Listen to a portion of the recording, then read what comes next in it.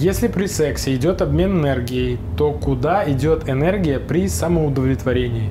У вас саму, вас самого. Вам ее просто в момент оргазма надо интегрировать в свое тело, не просто выкинуть. А и причем интересно, да, Сергей? вообще людей, ну, я понимаю, что их интересует тема секса, ну, как бы я, конечно, не против. Но а почему вы не спросили, а когда занимаешься спортом или болеешь, когда я смотрю футбол на стадионе, там, типа, я выбрасываю много энергии, а когда я смотрю там, футбол в своей комнате, куда уходит энергия? Туда же в эгрегор уходит. Как бы не уходила, что бы вы ни делали в компании с людьми или один, просто это энергия. Вы ее выбираете или отдавать, или не отдавать. Даже в сексе можно не отдавать энергию, а забирать. В тантризме есть целое течение, тантрический вампиризм, когда люди просто забирают энергию своих любовников. И э, на этом построены и в даосизме практики тоже сексуальные. Как вы выберете, так и будет. Если вы занимаетесь самоудовлетворением, и вы понимаете, что делать с этой энергией, куда ее направить, направить, она никуда не денется.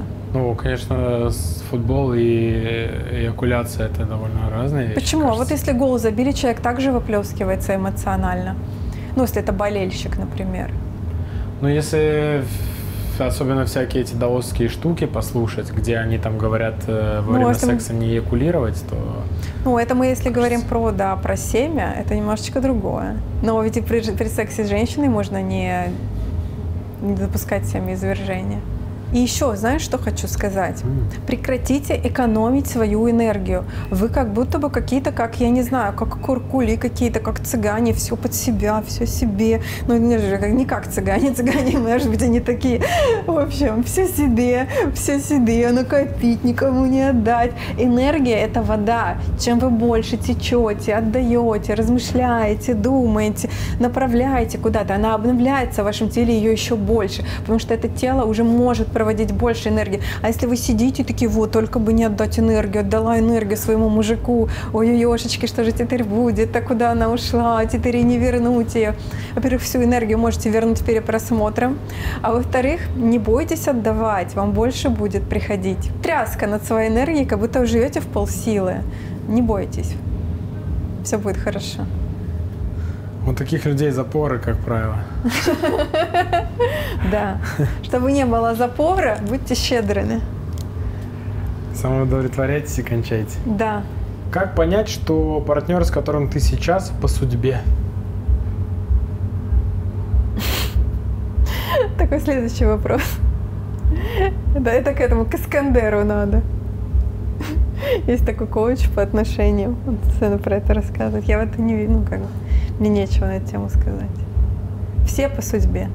Все по судьбе. Вот ты живешь, это судьба. Ты меня встретил, я тебе по судьбе, ты меня по судьбе. Сейчас мы пойдем по своим делам. Вот ты мне там рассказал про что-то, там, про спортзалы, про рестораны. Я тебе что-то рассказал. Мы поменялись, внесли вклад в друг друга, движемся себе спокойненько. Что значит по судьбе, не по судьбе? Живете с человеком, нравится человек, живите. Не нравится, не живите а как-то придумывать, знаешь, мистификацию своим отношениям, какое-то особое значение, особый смысл, особую драму, это вот уже идет опять, ум играет, ум хочет важности на какой-то добавить, накрутить чего-то. По судьбе, знаешь, это близнецовые пламена. Ну, мне кажется, здесь такой вопрос, больше, может быть, контекст. А как понять, что ты с этим человеком навсегда, знаешь? Никто ни с кем не навсегда. Спасибо, Таня. Да. Мы пойдем радостные вешаться. Как пишется в книге «Жизни и смерти» тибетской, все в этом мире приходящее. И даже, даже ваше тело. Там так было интересно, блин, я так офигел. Как это у индусов? Какое-то слово, угу. тело. Тело, как-то там какое-то слово, угу. не помню, неважно, две-три буквы. И оно там еще переводится как багаж. В этой книге так говорится. Класс. Да, что тело переводится там с какого-то языка или там санскрита, неважно, вот типа тело, и сейчас перевести там, переводится как багаж. Про то, что все приходящее, ничего нет навсегда, ничего не вечно, только душа и, ну и все, дух. Ну да. Курс «Вечный» — это мой дар тебе. Ты искала эти знания много жизней, но раз за разом проигрывала, жалко цепляясь за временное. Ты искала счастье в любви, бабках, вкусной жрачке, красоте, сексе, семье, ребенке. Ну и как? Интересно быть конечной.